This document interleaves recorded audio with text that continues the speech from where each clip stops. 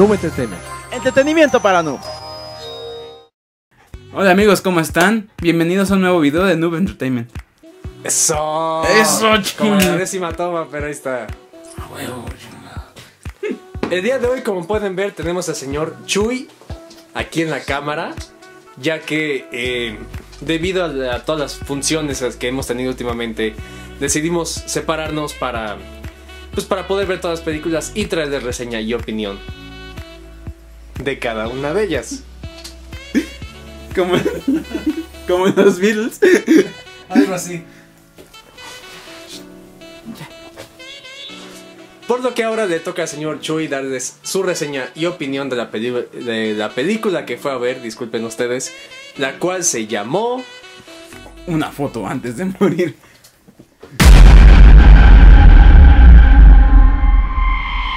Así que iniciando señor Chuy, díganos de qué trata esta película. Esta película trata de cinco amigos, si no mal recuerdo, que van, que se conocen en una cafetería y eh, se ponen de acuerdo para ir a una fiesta para conseguir pareja. A lo largo, bueno, ya justo la película empieza con su, con esa reunión y y como en el camino tiene un accidente que los lleva a entrar a una casa donde encuentran una cámara maldita. Después de eso descubren todas las cosas que hace esa cámara. Que en pocas palabras mata a quien les toma foto, entonces... Y lo van experimentando poco a poco. ¿Qué nos puede decir sobre el desarrollo de la historia? Uy, siento que hay varios huecos. Honestamente, bueno... Eh, si te presentan algunas cosas, pero después se contradicen, como que hay... Los personajes cambian de personalidad. Y eso como que va alterando un poco la trama. Haz de cuenta que uno que es tranquilo se vuelve el violento y empieza a amenazar a todos. No, como que no, no tiene mucha congruencia a lo largo de la película. Pues bueno, el, el desarrollo de los personajes. Ay, no sé. Bueno, evidentemente no conocemos a ninguno de los actores. Son todos actores rusos. Pero está casi casi todos los estereotipos que podemos ver. Está la güera tonta. El casi negro. No es negro, pero es como mormón. Así más o menos como de Arabia Saudita. Que puede ser como el negro. Eh, el chico guapo, que el líder de la pandilla. Y su novia. Después tenemos a la agregada cultural que casualmente llegó por una invitación o porque en otras películas sería la hermana de no sé quién. Y por eso también. lo requería? Ajá, exactamente. Podría ser el atlético, pero aquí no es como tan atlético, sino que justamente sabe todo de cámaras y es el que encuentra la cámara. Y tenemos el clásico que sabe todo de la película, que hay que hacer esto, sí, hay que separarnos, sí. El que todos sus consejos llevan a que todos se mueran. Así que por todo lo que dices, se entiende que más que película de terror parece película de Scary Movie, ¿no? Tal cual. sí, no, hay cada muerte que te sorprende, pero no en el sentido de. Wow, no, no me lo imaginé. Al contrario, no te lo imaginas porque sí es muy absurda. Hay algunas que sí dices, ah, bueno, ok, ok. Estuvo bien, inesperada. Hay algunas que vemos en el trailer. hay otras que. Y que hay la mayoría que sí son muy absurdas. Que justo se tuvieron que combinar un millón de cosas para que se muriera tal personaje.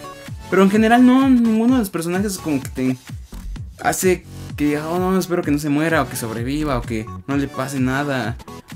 No, no hay nada, no. No sé si se deba a que justamente son actores que no conocemos o que los personajes no están muy bien, muy desarrollados. Y justamente a lo mejor ese mal desarrollo de los personajes se debe al que el guion sí es terrible. Como que parece que un niño de 5 años lo escribió. Evidentemente no sé ruso y no sé si la versión original, el guion original en ruso dice eso, pero en la traducción, tanto en los subtítulos como en el doblaje sí. No, bueno, y siguiendo con el doblaje, Dios bendiga Norteamérica y su necesidad de doblar películas. Ah, Ya había tenido la experiencia de ver una película doblada al inglés, que era la el terremoto de 9 grados o algo así, salió hace como mes y medio. Y no, no, no, no, no. Como que cuesta trabajo no distraerte. Como que tanto en ese caso los nórdicos como ahorita los rusos casi no abren la boca, no gesticulan tanto. Entonces, como que en el doblaje les valió. Y aunque ya terminaron de hablar, los muñequitos siguen hablando el doblaje. Si te distraes como que... Y no, te pierde... Te pierdes en, en algunas partes como algunas acciones. Parte de la acción, que tal se murió, que pasó esto, que se movió algo en el fondo. Justamente por distraerte con esos toques. Entonces, yo sugeriría que ya vi que está en español. La estrenaron en español directamente. Pues que la vean así, a lo mejor en el doblaje español. En español la hicieron más adecuada con lip sync. Pasando con otro tema, tenemos este fotografía, efectos especiales, ese tipo de cosas. ¿Qué nos puedes decir al respecto, señor Chuy? Pues creo que la fotografía está bien. Literalmente como que te hace pensar en una película típica de bosque. Así tomas en la oscuridad, en, más o menos en el atardecer y en el amanecer. Todo tranquilas. Hay algunas tomas que otras que sí te sorprenden, pero en general no. Como que sí están... Son normales, como que no hay nada innovador. Algo que digas, wow, aquí se esmeraron. En efectos especiales tal parece que no usaron CGI, definitivamente. Sí usaron más efectos prácticos. Hasta en una escena de lobos sacan a lobos de verdad. Como que sí, ahí puedes ver tanto la sangre o como cuando los personajes se van poniendo morados o como... Realmente no se ve que haya sido una película de mucho presupuesto. Como que sí todo lo ejecutaron en base a lo que tenían. Dijeron como, ah, bueno, este se puede morir así. Está aquí, aquí. Como que se fueron adecuando más a eso. Siento que en lugar de eh, enfocarse en la trama, se enfocaron en el presupuesto para ver cómo se morían y si era como eh, accesible. Para continuar tenemos la música, audio también en general, ¿qué nos puedes decir? Yo creo que voy a empezar con el audio. Ay sí, ahí sí se la rifaron porque sí crearon como la atmósfera del bosque, en la casa también. Sí crearon todo el ambiente, todo lo que... Todo lo que puedes escuchar, como que ahí sí se me hizo muy parecida a la bruja de Blair, al proyecto de la bruja de Blair, como que sí se la rifaron en ese sentido. Solo el único defecto sería como el doblaje en inglés, como que... Eh, tampoco se ven con tanta intención y emoción los actores de doblaje estadounidenses. Como que era... Oh no, se murió. y no, ¿y dónde está la emoción? La cara de la chava, la actriz está diciendo que se está muriendo de el dolor porque se murió esa, la otra, el otro personaje. Y no, es como, ah, sí, se murió. Ay, me duele. Ajá. Adiós, amigos. Adiós, amigos. Es más o menos como si hubiera escuchado el doblaje de Crepúsculo, pero en inglés. ¿Ves que? Así, casi, casi. Entonces, realmente la música. Casi no, no hubo participación de la música. Solo recuerdo que hubo una canción que tal cual sirvió como los créditos iniciales que los pusieron durante el trayecto en la carretera. Típica música adolescente de viaje. Casualmente, sí, justo. Sí, de todos somos felices, somos amiguitos, tan, tan, tan, vamos todos a la aventura. Y no, y realmente ya fue la única música. Y ya para terminar pasamos con su opinión personal y calificación, señor Chuy, ¿qué nos puede decir? siendo franco, Camilla. Voy a empezar con la calificación tal cual. Yo creo que le pondría un 5, 5, 5 chances, 6. Uy, no sé si es la primera vez que reprobamos una película en el canal. Anime ya habíamos reprobado. Película no recuerdo. Y si lo hicimos fue hace mucho. Es que. Es que sí, a lo mejor 5-5, ya definiendo bien. 5-5. Porque sí, no. Eh, que sí se lo merece el Alón. Porque tiene muchos huecos argumentales, demasiados, como que justo lo que dije hace rato. Como que te van planeando una cosa y de repente dejan volando esa cosa como si nunca hubiera sido importante. Aunque sí lo podrían haber usado muy bien en el final. Pero no, es como, ah, sí, ya, tan tan.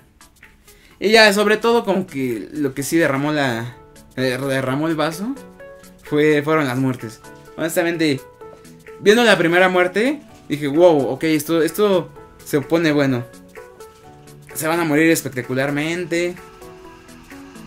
Y no, ya ves la segunda muerte y dices, ¿qué?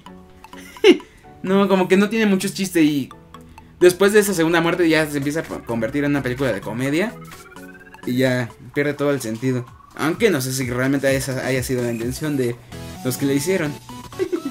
No sé, al menos al ver el trailer me da la idea de que era una película de terror. No dio una idea de, como dije hace rato, película tipo Scary Movie, no sé. Sí, como que sí tenía al principio toda la seriedad de una película de terror. Pero sí, justo en la segunda muerte se cae todo, se cae definitivamente esa, esa esencia que tenía, que habían generado.